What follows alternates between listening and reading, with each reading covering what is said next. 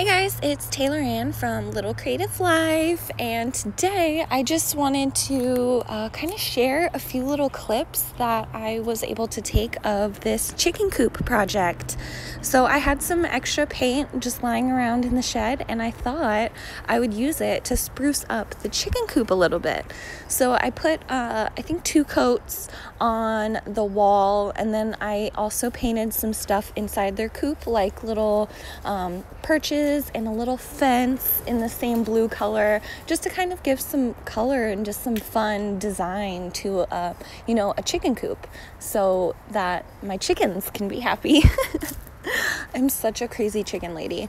Um, I'm actually out here right now um, hanging out with them while I'm doing this voiceover. So if you hear them, um, I'm sorry. I don't know. I don't think I have to apologize. Chickens are awesome, and uh, it was really fun doing this little project because um, I had help. My cousin actually came over and she helped me, so it was really fun, like hanging out with her and doing something crafty and creative. We just kind of hung out, um, chilled and painted. It was awesome. So I love her. You can see her right there. Isn't she beautiful? Um, I'm so thankful for her help because I didn't realize how much painting it would be. um, and I don't think I would have finished. Like, I was not expecting the amount of work, and I'm really happy she was here to help me.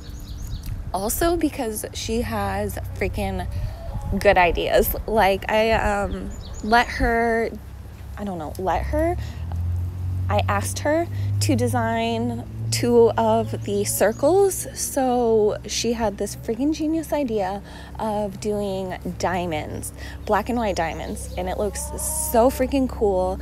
Um, I wouldn't have had the patience for that, so I'm really happy that she came in. She brought her like creative vision and did these diamonds. She also designed the next circle, which was like kind of the bubbles or I don't know, pebbles whatever they are. You'll see them kind of at the end, but what we did is we just drew a bunch of bubbles and then we colored them in. Oh, there's a squirrel. Honey, go get the squirrel. Get the squirrel. Get him. uh, I have a pretty nice sized backyard. Um, you can't really tell from this video because all you can see is the chicken coop, uh, but they have a really nice chicken coop, I think. I do still have some work left to do on it. I want to redo the roof, and then I have some kind of like fun Pinterest chicken coop ideas, um, as well as just sealing it off from predators and also pests because um, if you have chickens, then there's also a lot of like pests that come along with it, like um, rats, which are not fun. I love the chickens, but they um, do bring pests. They're chicken coop.